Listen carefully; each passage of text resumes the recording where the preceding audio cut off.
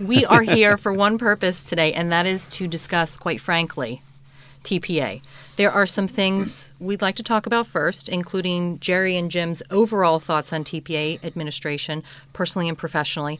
And then I'd like to segue into a recent controversial piece the entire medical community is buzzing about right now. Uh, emergency medicine physicians, neurologists, cardiologists, advanced practice providers, and the New York Times. So, first, Jerry, I'm going to let Jim ask you um, some very direct questions uh, and get everything out on the table.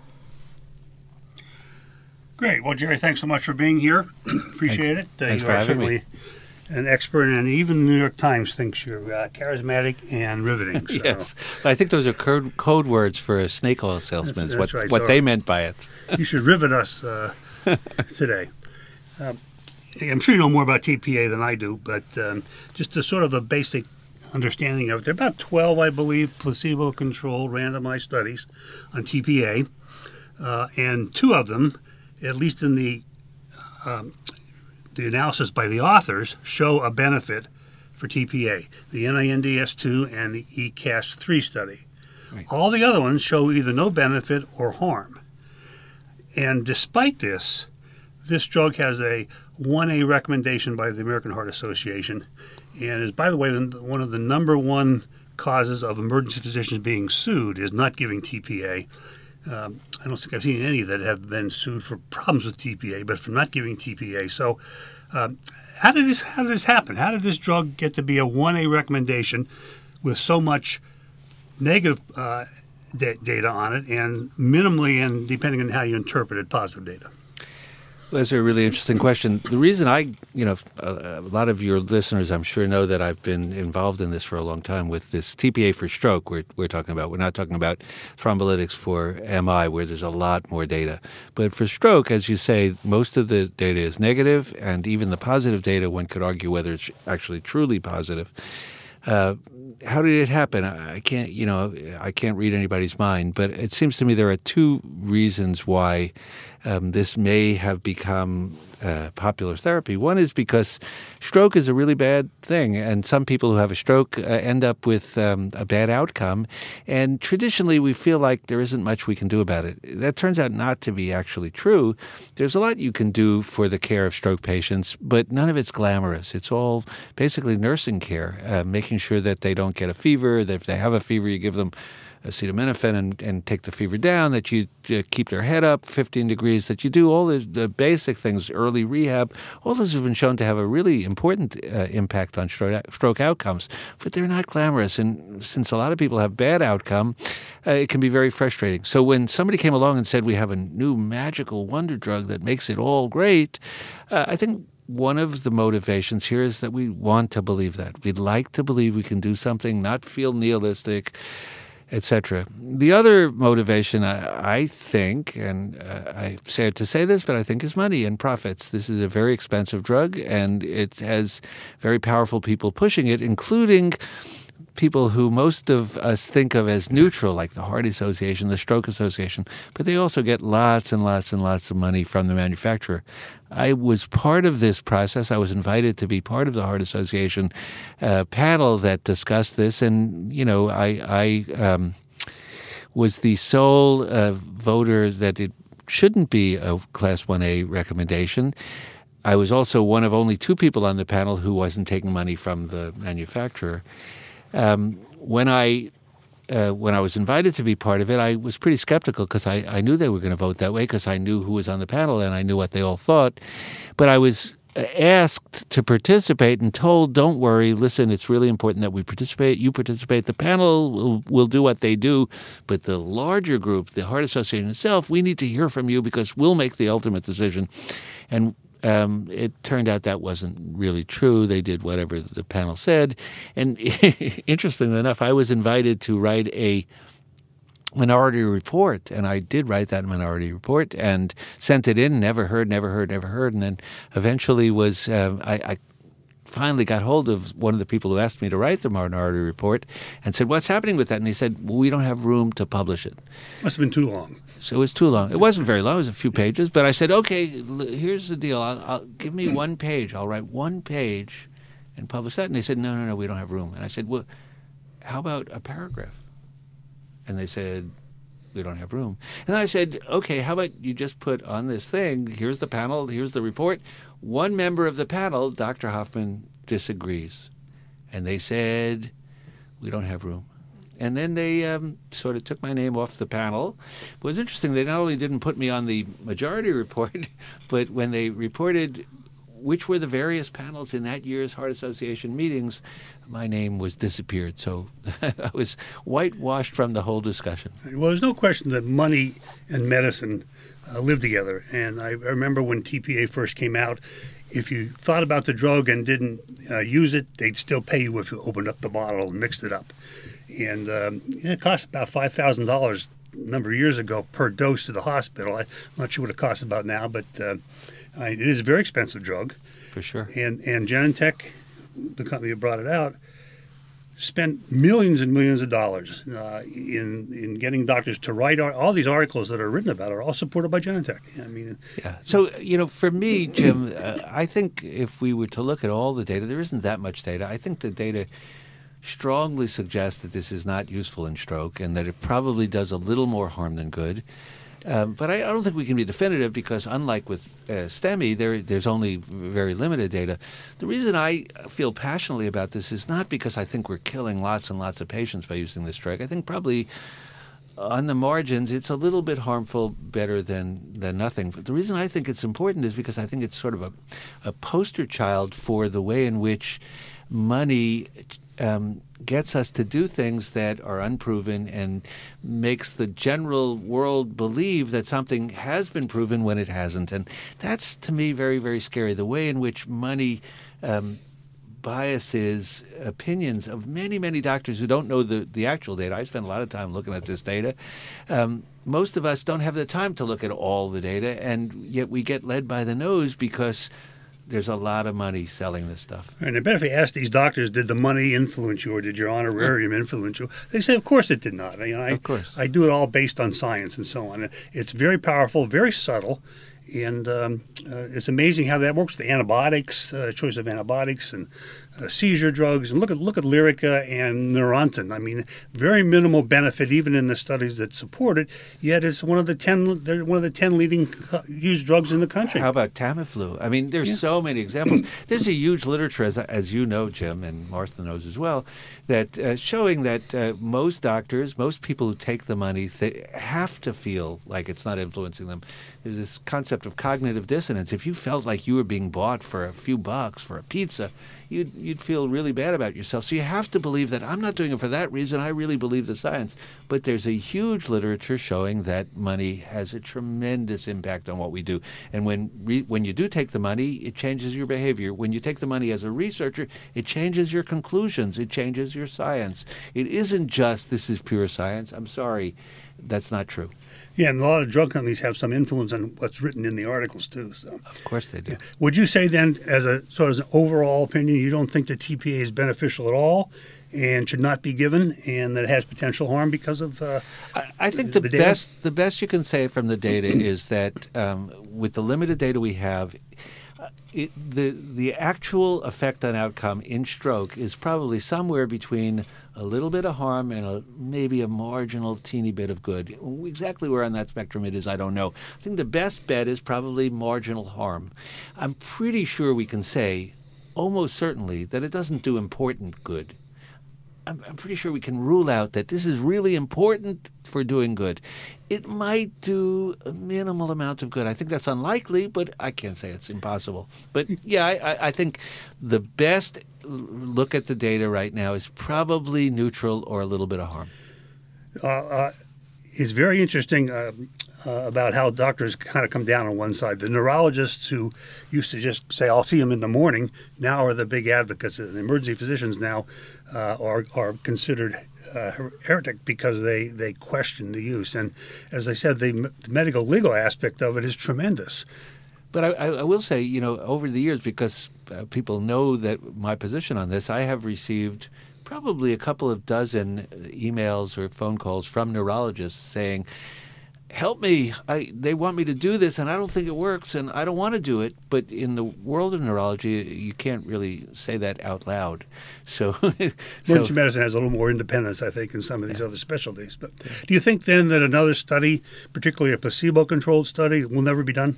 I don't think it'll be done. You know, uh, there's a famous quote from uh, Elliot Grossbard, who is the vice president of was at the time the vice president of Genentech when they were arguing between TPA and streptokinase for STEMI.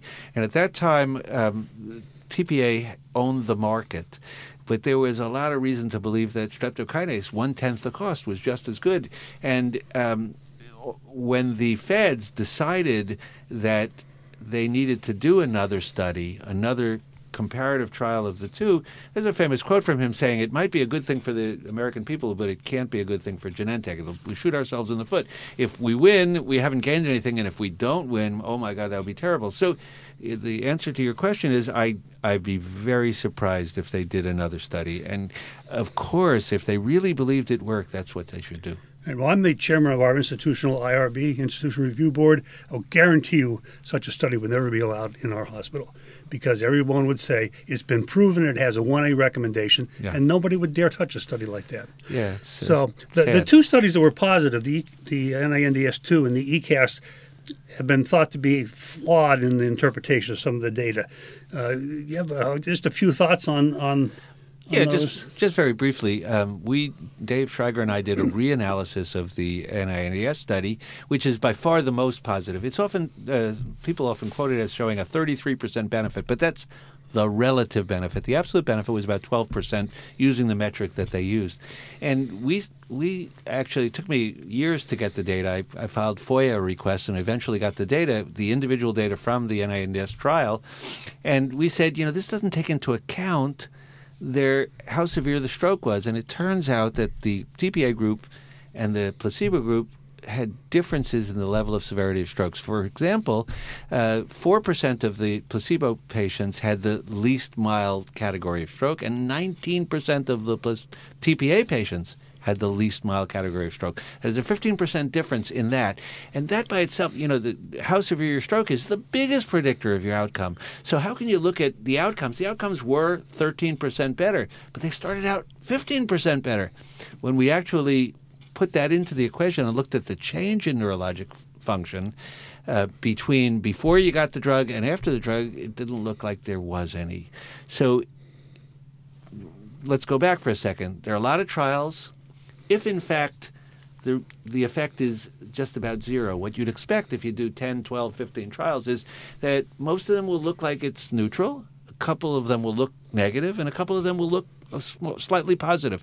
That's what we have here. In this case, when you go back and actually look at the baseline severity of stroke, and even in the other one, ECASS 3, there was a difference in baseline severity. If you take that into effect, it looks like there were none that were actually positive. But even if that weren't true, at best, you'd have a couple of studies with marginal benefit, E ECASS 3 much less benefit, only 6% absolute benefit. A couple of studies with marginal benefit, a bunch of studies that are neutral, and a couple of studies that are harmful.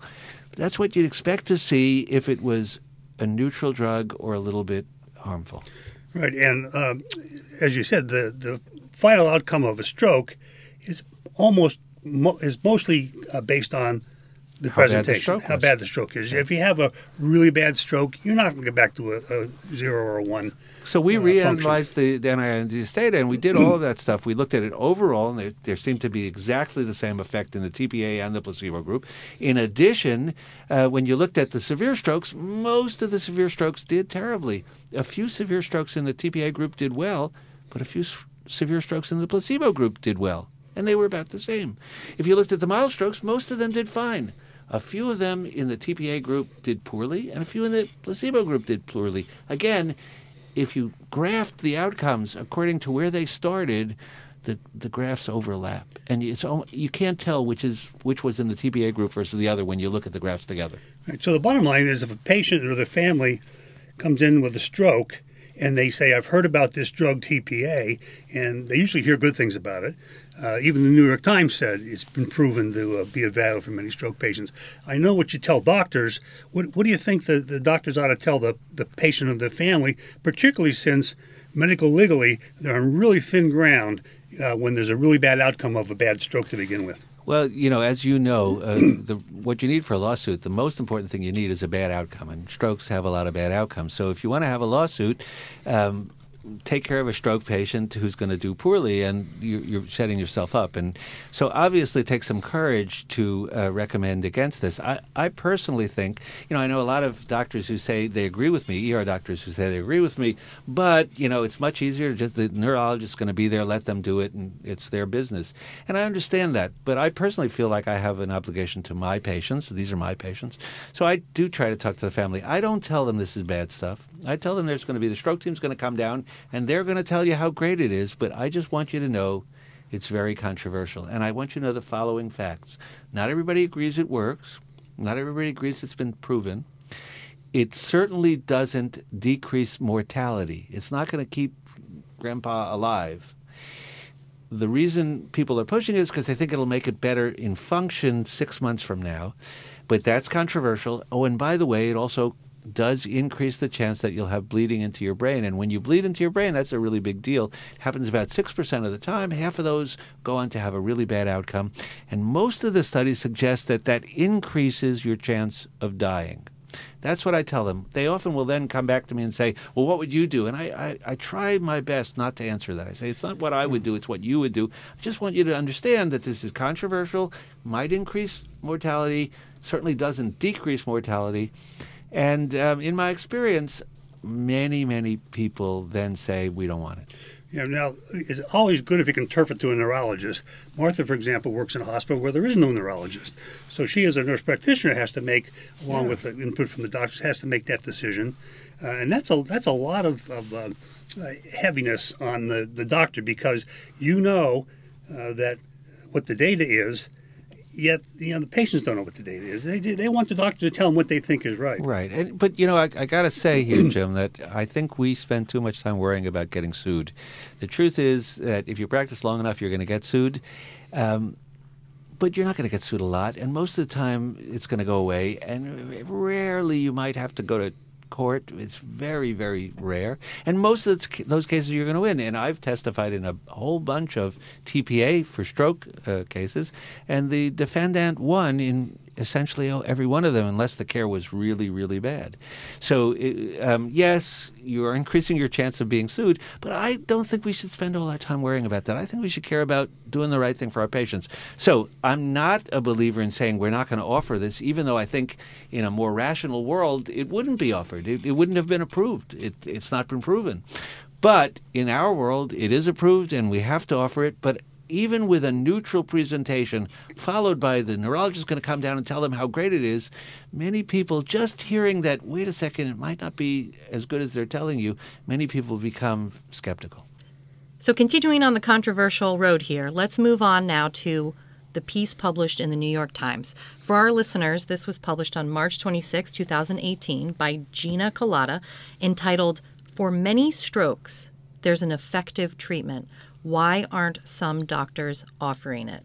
Now, we know there are many things, Jerry, that you want to comment on in this article, but let's start off by having one question asked here. And I'm just going to ask this one question here.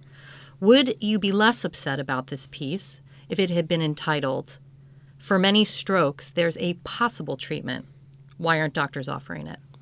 Well, sure, but uh, that that's only one of the big problems in this article, I'm sure we'll get into some of them. Um, I was uh, asked to speak to this uh, woman, whom I she's a main reporter for the New York Times health uh, part, and I've read a lot of her stuff in the past, and uh, I've always haven't been always impressed by uh, what she writes. I, I I think she's written a lot of very pharma friendly pieces in the past. But in any case, and I was warned uh, by friends of mine uh, not to talk to her, but I thought that's ridiculous. I, will talk to her and I'll do my best. Um, I was. Uh, introduced to her, and she was introduced to me by someone from the University of Toronto who I'm pretty sure had his best intentions, and he had uh, communicated to her that this was controversial. And she said, I didn't know it was controversial. I never heard it was controversial. It's sort of amazing because she's written about this in the past. But I thought, you know, let's let's uh, let's see where we go, and I'll I'll tell her uh, as well as I can what I think is going on. And then uh, we can talk about the article, what she said and what she should have said. But certainly she should have said possibly instead of saying it was. Why she had uh, uh, appointed herself the arbiter of this, the scientific arbiter, what's her credentials to decide if there's a scientific controversy? Who is she to tell us which is the right side? But she, she uh, obviously self appointed herself. Well, considering the title, uh, what sells books and movies and most other things is the catch line that someone reads. So if this said, well, there's some controversy about the stroke drug, uh, yeah, who would read it? You know? Well, you know, you, you certainly could. I, I don't pretend to know, but one might imagine that you might have readers if you said, you know, this thing has been has been put out there, advertised as the greatest thing ever in magic, but you know what? It turns out it might not be. I think you'd probably get some readers, but that wasn't her goal, I don't think. Right. Um, so you obviously disagree that uh, there's an effective treatment. It's questionable, maybe a little bit of help, maybe a little bit of harm. Yet uh, this article is very slanted towards the use of the drug and calls the people who use it as uh, bloggers and uh, yeah. social medias without right. studying any science. I mean, when I read that part of it, I was very taken back. I thought that was kind of crazy, particularly since uh, you know someone of your stature was uh, being quoted. But um, it, it's quite it's quite interesting that the neurologists here's what they say and they're right, and then these crazy ER doctors who right. who, who, don't know what they're doing. Yeah, so this was, you know, this is a little bit of a hatchet job, and it's really defamatory. So uh, she calls them experts. And she re- repeatedly refers to the people who are pushing this as experts. She didn't mention that the people she quotes uh, are taking lots and lots of money from industry. Uh, she didn't think that it was important for her readers to know about that potential conflict of interest. On the other hand, she doesn't call any of the, the skeptics experts, and she paints us as as uh, either me, I'm charismatic, which I think means I'm a snake oil salesman, or the people who might agree with me as sort of uh, mindless sheep like followers who don't know anything but social media. It's sort of funny because I had talked to her about that and I let her know that I I've never, I don't know what Twitter is. I, I don't use social media. Yeah, we don't I, see you tweet very often. I have nothing to do with any of that stuff. And then I've published lots of articles in the peer reviewed literature about it. But she ignores all that and she, she makes it out as though there's these mindless doctors. And, and she quotes the, the advocates as saying, oh, those ER docs who object, they don't know anything, they don't know the literature. Now, did she fact check? Did she find out if that was true or not? This is outrageous that she did made no effort to fact check any of the things that she did. Um, she also. she didn't mention that uh, the, all the conflict of interest of the people who are advocating for this, but she pretended that I had a conflict of interest. So she wrote in the original article that I was selling informational tapes pushing my theory. And that, there's a lot of code words in there. So informational is sort of like infomercials. Wait, no, wait a second. I, I'm, I've been participated in continuing medical education. That's an informational. It's not a theory. It's a critical analysis of what the data is. Uh, all of that is so distorted and so code wordy to make us think that I'm just sort of selling this stuff. I asked her afterwards, I said, I didn't sell anything. And she said, I never accused you of selling. And I, I sent her the, the, the paragraph in which she says he's selling this, and she said, "Oh, that's a misunderstanding." I was like, "Excuse me, wait a second, that's not a misunderstanding. You wrote it." So then she says, "Well, did you give away the tapes?" As though um, she's now again accusing me of selling them. So I said to her, "Would you? What would you think if I wrote that you were selling your theory in a national newspaper because the New York Times paid you?" And she said, "Oh well, now that you've explained it," and she agreed to write a retraction. But that was only after I sort of threatened the Times. Did she in fact write a retraction? They did write a retraction, but it wasn't it wasn't a very good one. It was she yeah. she still used the word informational, and my theory. You know, I mentioned to her, why are they experts? Emergency physicians are experts in clinical medicine. Oh, and by the way, I'm fairly well known as an expert in science, in methodology, and study design. And that's what this is really about. It's not about clinical expertise, it's about how do you read the literature. And none of the people she quoted as advocates are experts in methodology, but of course she ignored that. So uh, a lot of this was an attempt to paint. I've always, it's always interesting to me when people act as though I have pulled the wool over all these stupid doctors who just believe all this other stuff. A, I'm not capable of that, but B, that's a real insult not just to me, but to all the people who say, wait a second, that doesn't make sense. It's a real insult, and it's defamatory, and it's it's truly outrageous.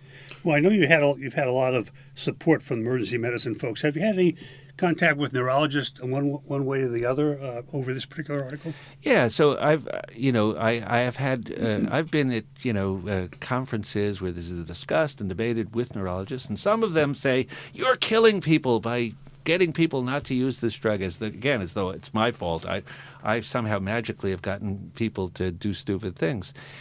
First of all, the idea that we're killing people is crazy because there's no evidence anywhere, zero, period. No one has ever been able to make the claim that this saves lives. So it has nothing to do with killing people. But that's one thing. There are neurologists who think anybody who is skeptical is, is harming patients. And they have the right to believe that. I think that's wrong, but they have the right to believe that. Um, I have, as I mentioned, I've heard from a, a, handful, a bunch, probably a couple of dozen neurologists who believe the opposite. So it, it's not like they're they're all of the same mind, but their their culture makes it hard for them to speak out in public and say we don't believe this. Certainly, many many emergency physicians are skeptical, but not all. There are some emergency physicians who think this is a, a good idea. You know, when we don't know the truth, when data isn't um, definitive, and it's hardly ever that we have completely definitive data, but here we have so little data, you know, we can only make our best guess. I think to accuse somebody else of malice because they disagree with you is, is uh, not appropriate. Joe, you said there was a difference in baseline severity in the NINDS trial. Would you elaborate on that a little bit more? Yeah, so as I mentioned, uh, when you looked at the placebo group versus the TPA group, the TPA group had far more mild strokes and fewer severe strokes than the placebo group. And I pointed that out to this reporter, Gina Kolata, and she dutifully mentioned in her piece that I said there was a baseline difference. And then after she writes that, the next sentence is, the experts disagreed.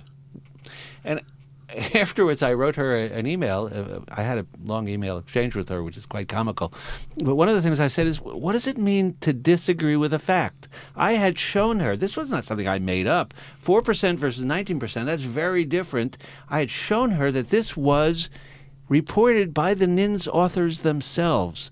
So, what does it mean when you say they disagreed with my theory that there was a baseline difference. There was a baseline difference. We live in a world now where when you're caught in a lie, you just say fake news, and that's what this reminded me of. Yeah. Well, um, I can say that uh, stroke is a very uh, damning disease, and it's devastating to the, not only the patient but to the family. To have someone who has a bad stroke, the outcome likely going to be bad. Um, they're, thinking about nursing homes and bed sores sure. and feeding tubes and tracheostomies and all those sort of other things. Let's just give it a try. Maybe it'll help. Uh, even if it kills him, he's probably better off dead. I, have heard patients uh, sure, and I, I, have no problem with the notion that there are things worse than death. And you know, if it was a choice of dead or normal, you know, we can make him normal. Otherwise, he'll be miserable. I can understand people uh, making that choice, risking death to try to get a better outcome. But the notion that it can't hurt is really silly because not only could it kill patients, but it could also make them worse, breed into brain, and have a worse, more vegetative outcome. And you mentioned the randomized trials. Most of the randomized trials are negative, but there's also data that are about. Uh, effectiveness, not efficacy. What happens in the real world? And the industry itself, sponsors have published a few effectiveness studies claiming that they had good outcomes. Those studies are uh, we don't have time to go over their many, many biases and flaws, but there are also a large number of non sponsored effectiveness studies, and in those, the outcomes are really, really terrible, worse than in stroke in general. More deaths, but even more important, more bad neurologic outcomes. People left vegetative and doing very poorly. So I don't think we should. I understand the impulse to say, let's just try it because we don't want to have a bad outcome. That would be reasonable if everybody had a bad outcome without therapy. But a lot of people have a pretty good outcome, and you can ruin their lives by doing a therapy that is not only not helpful, but is harmful. That's my big concern. One of the things that I think uh, the viewers need to know is not all these patients are taken care of by some board certified uh, with a specialty in stroke neurologist at a university medical center. I know the Cleveland Clinic looked at this a number of years ago, and they found that the intracranial hemorrhage rate was 16%, not the 6% that the INDS study had, and that uh, 50% of them were given it inappropriately. Time, dose, uh, even, uh, you know, was about 20% stroke mimic that, uh, that and you their, can give it to. And their neurologic outcomes, even aside from intracranial hemorrhage, were terrible. And it's not just the Cleveland Clinic. Yale did one where they looked at everybody in Connecticut who got it. The outcomes, again, large numbers of hemorrhage, large numbers of death, large numbers of terrible neurologic outcomes. And there's one from Michigan which looked at the entire state of Michigan, same thing. And there's one which took a national database with 100,000 patients. And again, the outcomes were awful, often inappropriately used, but even when it wasn't inappropriately used, the outcomes were way worse than the placebo group in NINDS. Uh, yeah, I don't know what I would do if I had a really bad stroke and I was awake enough to make a decision whether I would say, well, what the heck? I got nothing to lose except I might just die and I'm supposed to be on this bed for the next 10 years with a, with a peg and a trach. So I'm not sure what I would do. Uh, yeah, I, have given it and I've not given it. Right. And um, I don't think there's. Unfortunately, we don't know enough. I, I, used to answer that question. What would you do? I said. I I used to say, I would like. I my wish would be that I was a participant in a randomized trial of this, so that we would know what to do. But actually, today, given all the subsequent evidence we have, um, even if I was in a bad state, I wouldn't want it for myself or for my wife or my family, because I think it increases the chance that I won't get better. Well, you certainly uh, took a lot of uh, um, criticism from the New York Times, and we, uh, yeah. your your response to that is quite academic and very reasonable. We we, we uh, understand. Uh, your points, and it's still controversial by many doctors. Obviously, not controversial on your part. Um, no, I think it's controversial. I, I, think we don't know enough, and I wish we, we knew more. I don't think we're ever going to know more. So we right now, until we know more, we still have to decide what to do. And I think the best guess today is not a positive one. All right. Well, we really thank you for being here, and special thanks to Mel Herbert and the rest of the crew uh, at his home today for uh, for M- using the EM:RAP resources to make this possible. Thanks again, Jerry. Thank you, Jerry. Good, good seeing you again. Great. Thank, thanks to both of you, and pleasure to be here.